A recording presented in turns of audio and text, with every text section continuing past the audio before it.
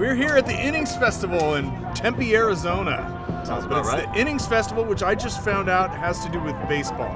Yes. I don't understand sport. They have innings in baseball. sport. Sports ball. Yeah, Yeah, sports, sports ball. Yeah. I don't understand favorite. sports ball. Love it. Yes. So, but we're here. We're playing with Green Day, Weezer, Pretty Reckless, and Black Crowes, and a, a couple other bands. Uh, but it's it's going to be quite a shindig, and uh, we're excited to be here.